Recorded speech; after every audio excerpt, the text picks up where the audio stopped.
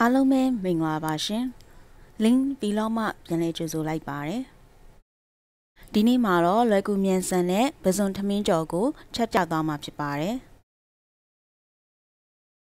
ဒေဦးထဲမှာစီကြက်သွန်ပြူစားထည့်ပြီးတော့ကြက်သွန်ပြူစီတက်ပါမယ်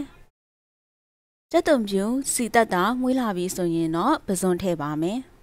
။ပဇွန်စားကြက်လာပြီဆိုရင်တော့ကြက်သွန်ကြီးစိတ်ထားတာထည့်ပါမယ်။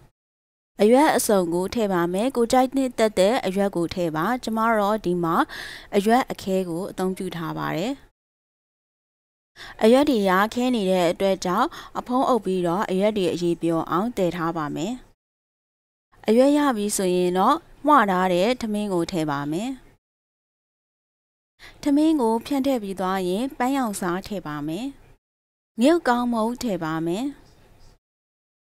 ထမင်းကြော်မှာအနက်လေးမှုရအောင်အတွက်နှမ်းစီအနှဲငယ်ထည့်ပါမယ်။ရတာတွေထည့်ပြီးသွားပြီဆိုရင်တော့ထမင်းကြော်ကိုမီးပြင်းပြင်းလေးနဲ့အရသာဝင်အောင်ကြော်ပါမယ်။အရသာမီးပါမယ်။အရသာအဆင်ပြေပြီဆိုရင်တော့လွယ်ကူမြန်ဆန်တဲ့ပစွန်ထမင်းကြော်ရပါပြီရှင်။အားလုံးပဲအဆင်ပြေပြီးတော့စားကောင်းကြပါစေ။အဆုံးထိကြည့်ရှုပေးတဲ့တဦးတယောက်တင်တိုင်းကိုကျေးဇူးတင်ပါတယ်ရှင်။အားလုံးပဲစိတ်ချမ်းသာခြင်းကိုကျန်းမာခြင်းများစွာနဲ့ပြည့်စုံကြပါစေ။ ကျမရဲ့ဗီဒီယိုတွေကိုတိုက်နှစ်သက်တယ်ဆိုလို့ရှိရင် subscribe နဲ့ notification ကိုလည်းနှိပ်ထားပေးကြပါအောင်ရှင်။